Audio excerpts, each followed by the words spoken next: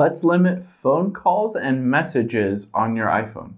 Now, if it's either your phone or a child's phone and you want to limit it, say you can only call or FaceTime or message a specific contact or group of contacts, you can always limit that by hopping into our settings and we will tap on screen time towards the bottom. On here, turn on screen time if you don't already have it turned on, and we will tap communication limits.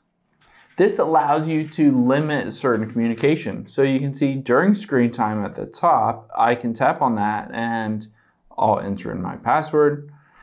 I can limit it to contacts only, so I can only communicate with people that are in my contacts list on my iPhone.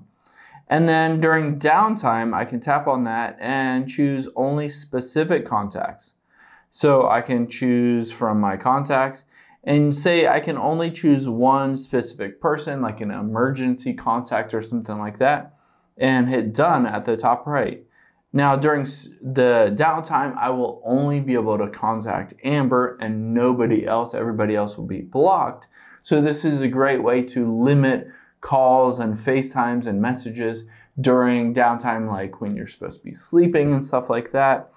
But when you're awake and during the normal hours, then you'll be able to call and interact with anybody that's in your contacts. Hope this helps. Thanks for your time today, and I'll see you on the next one.